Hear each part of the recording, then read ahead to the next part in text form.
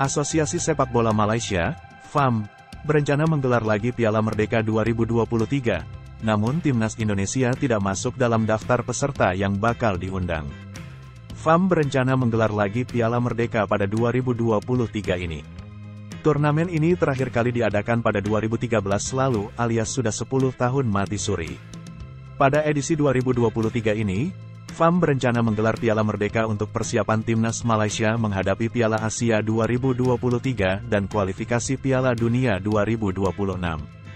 Dilansir bolasport.com dari ASEAN Ball, Malaysia berencana mengundang tiga tim lain di Piala Merdeka yang akan diadakan pada FIFA Matchday September.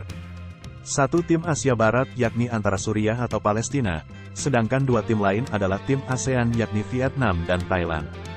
Tidak ada Indonesia dalam daftar calon tim undangan, padahal bila menilik prestasi Garuda pernah menjuarai ajang ini. Piala Merdeka awalnya diadakan untuk memperingati Hari Kemerdekaan Malaysia.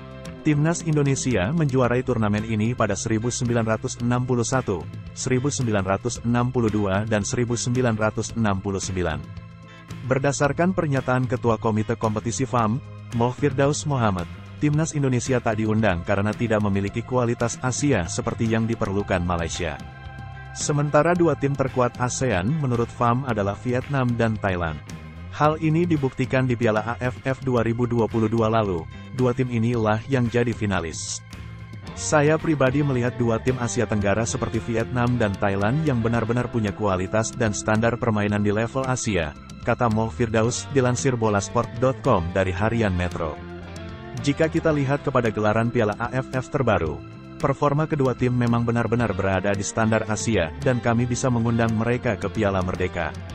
Sebab, kami menginginkan kompetisi ini sebagai ranah persiapan menjelang Piala Asia juga, tambahnya. Sementara bila melihat ranking FIFA, memang Malaysia mencari lawan dengan peringkat FIFA lebih tinggi untuk jadi peserta di Piala Merdeka 2023. Thailand berada di peringkat ke-111, Vietnam 96, Suriah 90 dan Palestina 93. Adapun Malaysia berada di peringkat ke-145. Indonesia berada di bawah Malaysia, yakni di peringkat 151 saat ini. Pantas saja Malaysia tak melirik timnas Indonesia untuk jadi salah satu peserta di Piala Merdeka 2023.